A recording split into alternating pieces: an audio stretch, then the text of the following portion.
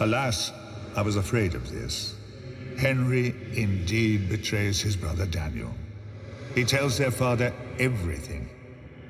Livid with anger, father summons Daniel to the Great Hall.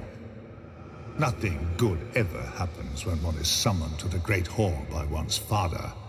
And to put it mildly, this particular father is not a man to be tampered with.